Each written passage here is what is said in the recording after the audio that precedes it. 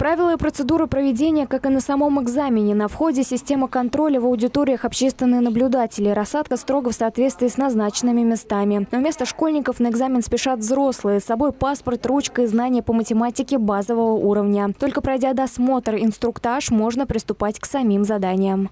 Это работа с металлоискателем, это регистрация на экзамен. Соответственно, во время экзамена соответственно, будет произведена распечатка материала, заполнение регистрационных полей. Будет дано время да, попробовать свои силы в написании математики базового уровня. А, будет проведено сканирование. Всероссийская акция «Сдаем вместе. День сдачи ЕГЭ родителями» проводится уже шестой год по инициативе Федеральной службы по надзору в сфере образования. Пробная ЕГЭ – уникальная возможность для взрослых поменяться местами с ребенком, в полной мере прочувствовать всю ответственность экзаменационного периода. У меня сын заканчивает 11 класс. Захотелось окунуться в эту атмосферу. Как бы э, понимаю, что придется его поддерживать во время непростых этих дней экзаменационных. Вот, хочется попробовать самой, посмотреть, что здесь и как.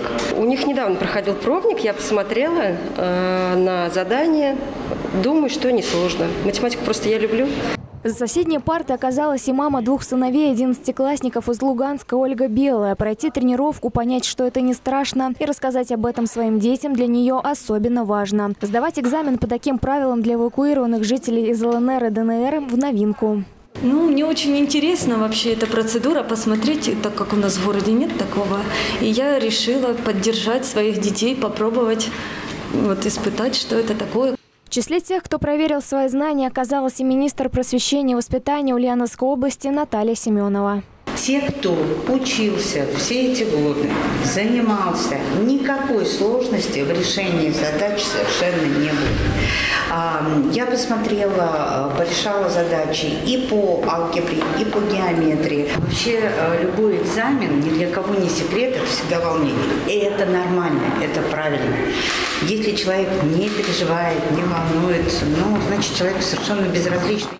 Узнать результаты тестирования участники акции могут, позвонив по телефону учебного заведения, в котором сдавался экзамен. Алина Тихонова, Герман Баранов, Улправда ТВ.